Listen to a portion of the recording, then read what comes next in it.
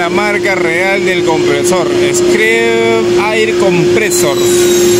Mucho cuidado con eso. Esta es la marca que nos venden a nosotros, Regler Compressor. ¿Por qué es importante saber eso? Porque si nosotros buscamos compresor Regler, no existe en ninguna página web, no existe ningún fabricante.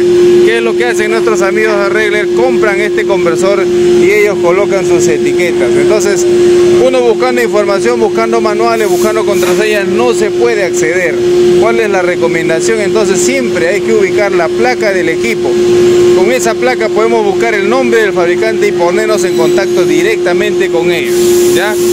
Entonces, ¿Para qué es importante contactarnos con el fabricante? Para que nos brinde la información acerca del mantenimiento, acerca de las contraseñas y acerca de los repuestos, manuales, fallas, ¿no? Porque aquí nos venden el equipo y después no sabemos por qué sucede tal o cual falla. Entonces, aquí para hacer el reinicio del mantenimiento nosotros logramos acceder con la contraseña 1688, pero sin embargo queríamos modificar el tema de temperatura no podíamos porque no nos ingresa. La contraseña 1688 no nos permite ingresar. Ingresa la clave, dice. No, no ingresa. No nos permite ingresar. Incorrecta, incorrecta, incorrecta. Entonces, esa contraseña nos ha sacado de otro lado y es la contraseña 5588. Si yo quiero modificar esto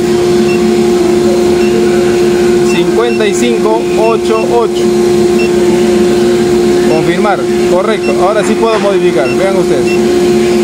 90 grados, ¿no? Aquí nosotros lo bajamos porque aquí trabaja muy caliente el sistema porque está cerrado, el ambiente rápido alcanza los 90 grados. Entonces lo dejamos trabajando entre 70 a 80 grados.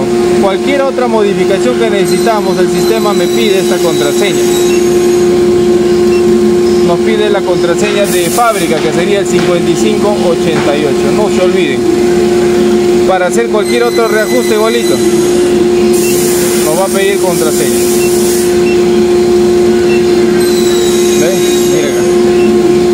Parámetro de fábrica. Nos pide, ya no nos pide porque ya ingresamos la contraseña nosotros. Ya 5588 entonces no se olviden de eh, hay que buscar la información hay que buscar la información del fabricante no del vendedor. Hay que buscar la información del fabricante y para más información con respecto a los compresores o para ayudarles a encontrar la contraseña de sus equipos pónganse en contacto con nosotros. No se olviden de suscribirse. Déjenos en los comentarios y con mucho gusto los vamos a ayudar. Gracias por ver